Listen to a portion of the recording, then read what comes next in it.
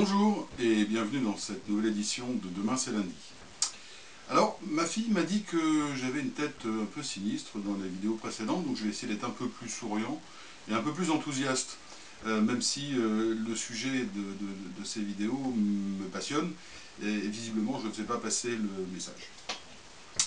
L'autre chose, c'est que nous sommes au quatrième épisode, euh, que finalement on s'aperçoit que c'est assez répétitif, donc je vais changer, modifier légèrement le format, euh, en ce sens que je ferai toujours l'arrivée du marché, euh, et c'est ce qui se passe aujourd'hui.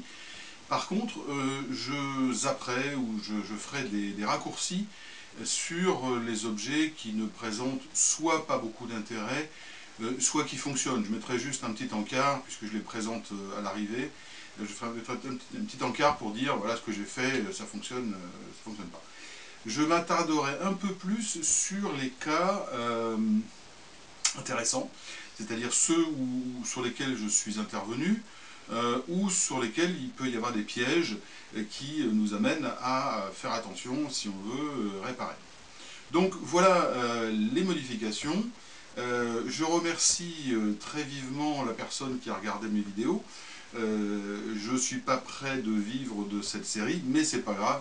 Je ne l'ai pas fait pour ça, je l'ai fait pour rendre service et pour être euh, d'un support ou d'une aide pour certaines personnes.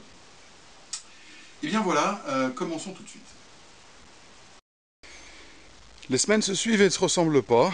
Euh, bon, encore c'est une semaine où la pêche est moyennement fructueuse. Pour faire simple, un, un base booster, un base, je ne sais plus comment ça s'appelait là, les trucs de banlieue, Sony, euh, vachement récent puisqu'il n'y a même pas de lecteur de CD, donc euh, oui, j'ai pas vu ça tout à l'heure. On verra. Euh, un petit, je sais pas comment petit karaoké pour gamins, c'est pareil, on va pas y passer trop de temps. Le traditionnel grippin. Alors, le, le 1000, l'aspirateur 1000, euh, c'est des amis qui ont a priori ce modèle-là et qui ont un problème d'enrouleur. Donc euh, là, je vais juste vérifier. Mais bon, des aspirateurs, ça va. Et puis, cette espèce de, copie de Dyson euh, portable, là. On va voir si ça marche. Ainsi qu'une paire d'enceintes qui pourrait remplacer avantageusement mes enceintes monitor qui sont vraiment de qualité merdique. Voilà.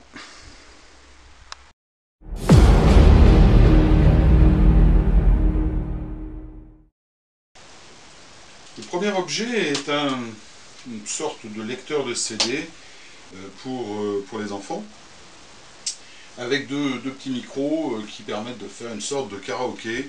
voilà, donc ça c'est un jouet, rien de particulier, on va l'essayer.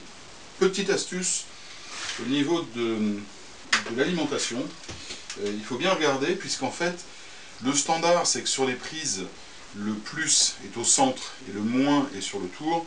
Dans ce cas-là, c'est l'inverse. Donc typiquement, si on met un, adaptateur euh, standard, s'il n'y a pas de protection avec une diode à l'intérieur, vous cramez, euh, vous cramez l'ensemble. Donc, on va le brancher et voir si ça fonctionne. Si ça fonctionne, super. Si ça ne fonctionne pas, je ne vais pas passer beaucoup de temps là-dessus.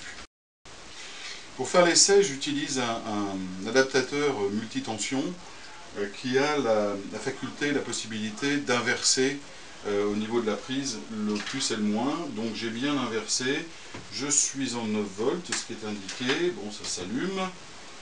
Voilà. Euh, si on ouvre et que l'on met un CD, je pense que le jouet devait être vendu avec un CD euh, genre karaoké avec juste de la musique, mais là, on va essayer, comme j'ai pas de, le CD en question, on va essayer avec un CD normal.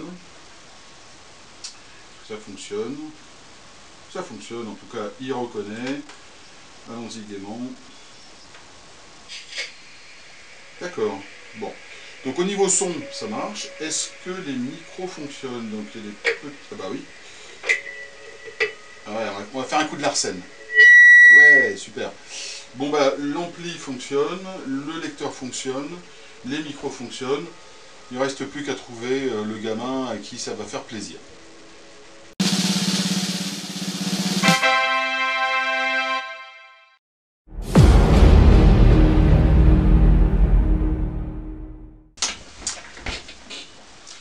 Suivant, c'est un aspirateur, un aspirateur euh, sans fil. Encore vu où ça se rechargeait. Euh, on verra ça. Ah si, ça y est, ça se recharge là.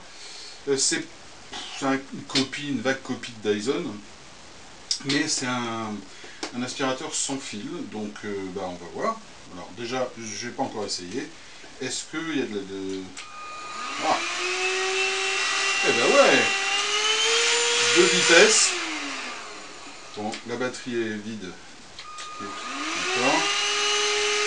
Génial Et il y a l'embout. Bon, donc je vais regarder au niveau de la batterie. Voilà, la batterie euh, est de toute évidence vide.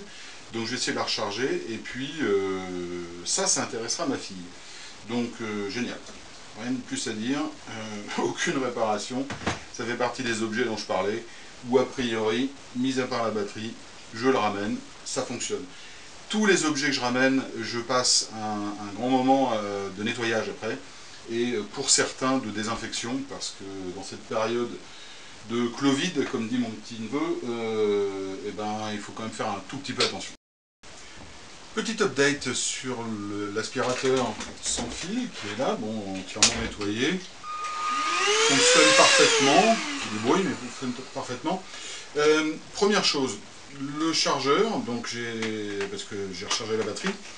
Euh, la batterie aurait pu être défectueuse ou ne pas chargée, en fait on peut la retirer, elle se charge euh, avec euh, une prise tout à fait classique, euh, mais avec une tension un peu ridicule. Donc en regardant sur internet, je m'aperçois que les chargeurs sont des chargeurs de 24 ou 26 volts. J'en ai trois caisses d'adaptateurs divers et variés. Pour une fois, j'ai trouvé mon 23 volts avec la bonne prise. Donc je l'ai chargé complètement, le voyant était au rouge, il est passé au vert, donc la batterie est entièrement chargée. Ça c'est la première chose. La deuxième chose, ça concerne euh, l'embout. Euh, en, regardant, j'ai vu, tiens, il y a des fils électriques là. Euh, et tout simplement parce qu'il manque un truc, mais bon, c'est pas gênant, ça va pas gêner du tout pour l'usage, c'est que sur ce système-là, il y a normalement un petit balai rotatif qui vient amener, un peu comme sur les robots, qui vient amener la, poussière dans le tuyau et qui l'aspire. C'est tout. Euh, donc ça, effectivement, ça n'y est pas. Mais euh, je l'ai essayé, il fonctionne très bien.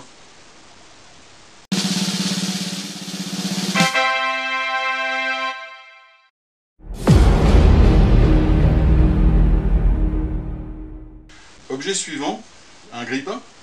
Euh, ça, c'est la star des déchetteries. Euh, je ne vais pas les faire tous, parce que je pourrais en ramener pratiquement toutes les semaines.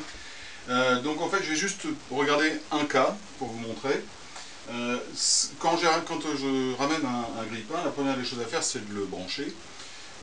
Avec une petite crainte, parce que quand on branche quelque chose, s'il y a un court-circuit, ça fait tout sauter. Donc là, on va voir. Je vais le brancher. Bon, déjà ça saute pas. Et puis qu'est-ce qui se passe là? Il est...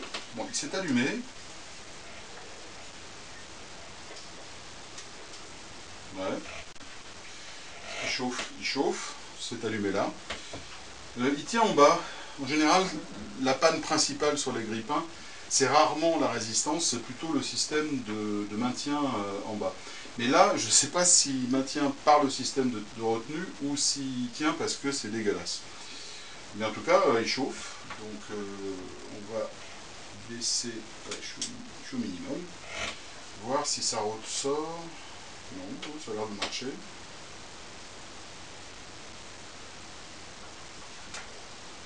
Passionnant. Hein, c'est vraiment... Euh, voilà, j'ai pas mis de pain dedans. L'autre chose qui est assez classique, c'est que finalement les gens ne prennent jamais la peine de le nettoyer, c'est-à-dire en fait, de le retourner simplement et de euh, vider toutes les petites miettes de pain bien croustillantes qui quelquefois viennent se coincer dans le système de retenue en bas et l'empêchent de fonctionner. Donc quelquefois on le retourne, on le secoue et, euh, ça fonctionne. Bon, là, je ne sais pas euh, jusqu'où il va aller, parce que... Ouais, bon. Hmm.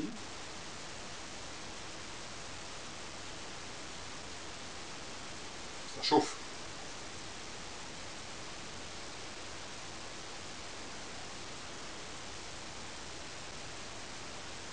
Oh Ça y est Bon, et eh ben alors celui-là, c'est simple. Grand coup de nettoyage on va enlever euh, toutes les petites miettes de pain, mais euh, un grille-pain qui marche. C'est ce que j'expliquais dans mon introduction euh, sur la série. Le grille-pain, c'est classique, ou il marche pas, ou simplement on l'aime plus. Alors celui-là, je sais pas pourquoi on l'aime pas, parce qu'il est, il est, il est assez étonnant, en ce sens qu'il est très long.